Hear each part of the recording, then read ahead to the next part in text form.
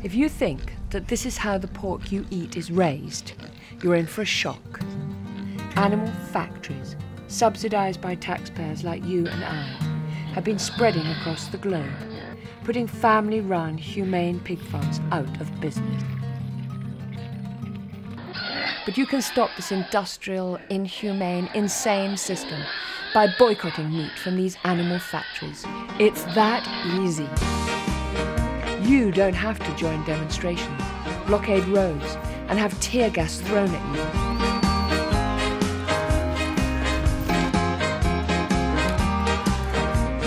I'm Tracy Worcester, and through my campaign organisation, Farms Not Factories, I've been asked by local residents all over the world to film their protests against this industrial system. So you don't have to film rows of caged and cruelly treated pigs that have to be constantly dosed with antibiotics to keep them alive, just long enough to get them onto your plate. The resulting antibiotic resistance that's already killing people will see the end of antibiotics as a cure for human diseases. You don't have to gather evidence from doctors who treat diseases caused by biodegrading pig waste in water that people wash in and drink. Or be chased off the world's biggest, a 2.5 million pig factory in Chile which supplies the UK and European families with pork. Or get interviews with CEOs, bankers, and politicians who run this industrial system.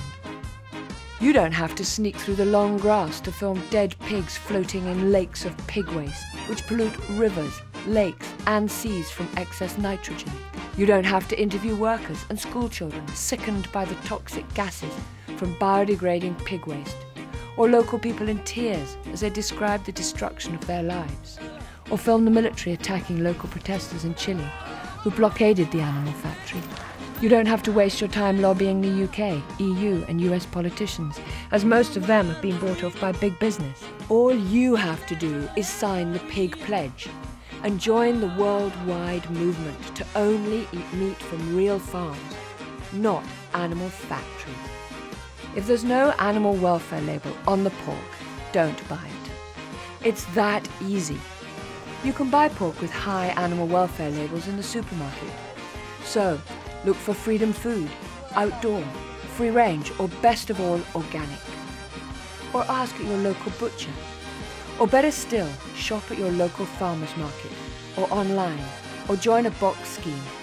If you're eating out, you can ask if the meat is from a high welfare farm.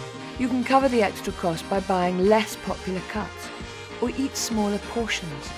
Two sausages from an animal factory cost the same as one and a half sausages from a farm where pigs are happy and healthy.